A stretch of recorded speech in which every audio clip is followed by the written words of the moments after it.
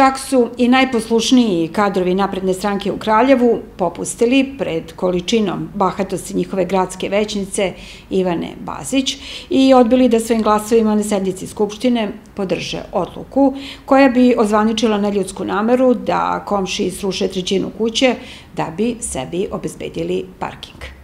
Zbog gradske većnice Ivane Bazić sada su, osim kraljevačkih naprednjaka, i građani Rivnice postali taoci njene bahatosti. Rečeno je na današnjoj konferenciji za novinare odborničke grupe Starosedeoci Kraljeva i okoline. Kakav to čovek treba da budeš, pa da komšiji koji ti je poklonio deo svog placa da bi mogao da legalizuješ kuću, sada hoćeš da srušiš trećinu njegove kuće, jer si se zainatio da sebi asfaltiraš i parking. A upravo to je bila suština odluke, koju je, makar i kao tehničku grešku, trebalo po svaku cenu progurati na Skupštini, da bi nezajažljivi apetiti uticajne članice Srpske napredne stranke i gradske većnice, koja pošto poto želi da pokaže moć, bili zadovoljeni. Radi se o detaljnoj regulaciji e, ribnice gde je Ivana Bazić bahata i možda među najbezobraznijim e, većnicima i članovima Srpske napredne stranke uprkos problemu koja je napravila pre pet meseci istrajala pod znacima navoda u tome da svom komši na osnovu nekog starog plana otme jedan deo parcele i da mu sruši jedan deo kuće kako bi izgradila sebi parking ili prostor za stovaranje ogravnog materijala i tako dalje. A onda se desilo nešto gotovo ravno čudu, rekli su danas na konferenciji za štampu članovi odborničke grupe Starosedeoci Kraljeva. Opšte poznata stvar, mislim da to svi građani znaju bez obzira na svoje političko opredeljenje, kako funkcioniše sistem u ovoj zemlji, te da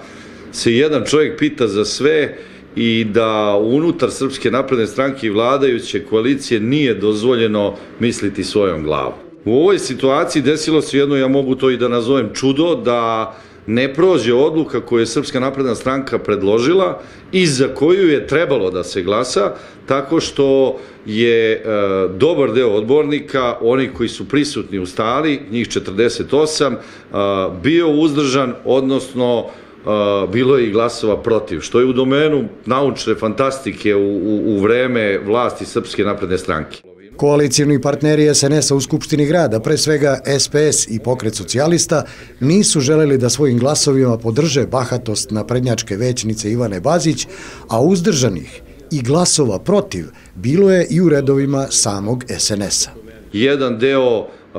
SNS odbornika je ostao uzdržan, Socijalistička partija Srbije je ostala uzdržana, pokret socijalista takođe i to se do sada nikada nije desilo. Koalicija je ozbiljno uzdrmana, ozbiljno je uzdrmana Ivana Bazić koja je to preko regionalnih šefova, to moram da napomenem, znači nije imala podršku i nije tražila podršku lokalnih šefova, jer će sve njih preskočila, Bilo je primetno da su mnogi odbornici SNS-a, koji su čitav dan sedeli u skupštinskoj sali, samo desetak minuta pre glasanja napustili sednicu i nisu se pojavili na glasanju. Među njima, kažu starosedeoci, bila je i narodna poslanica iz SNS-a Sandra Joković. Izgleda da, je, da su se ljudi doveli nekom razumu, da je pobedio, što se kaže, pobedio razum i ta tačka dnevnog reda jednostavno nije prošla. Ja se iskreno nadam da, da je da će da to bude neki novi početak i da će, da kažem, i taj razum, čast i savest i dostojanstvo svih nas, posebno odbornika iz vladajuće koalicije da prevagne i da će da prevagne iznad nekih političkih i e, političkih interesa. Ja se nadam da me na sledećoj sednici neće demantovati, da će se nastaviti u ovom duhu, da će taj neki, da kažem, razum i neko ljudsko dostojanstvo da pobedi bahatost i osionost i neku gordost pojedinaca iz vladajuće koalicije.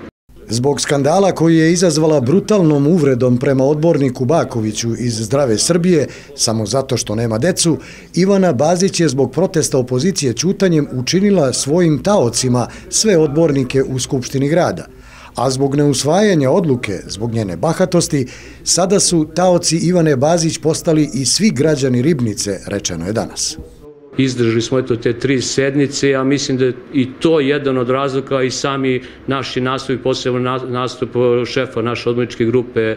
Ivana Matovića koji je ukazao na problem na tu tačku dnevnog reda oko generalne regulacije ribnica. Način na koji su nadležne službe pokušale da kao tehničku grešku ispod žita provuku sumanutu odluku sadrži sve elemente da protiv Ivane Bazić tužilaštvo pokrene istragu za krivično delo trgovine uticajem, rekli su na konferenciji za štampu članovi odborničke grupe Starosedeoci Kraljeva.